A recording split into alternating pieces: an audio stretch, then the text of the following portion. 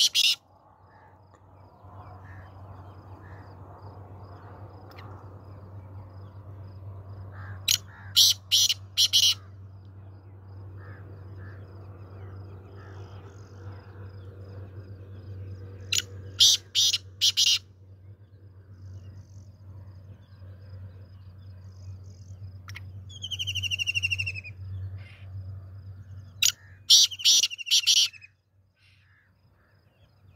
फौजी भाई fresh video आज दी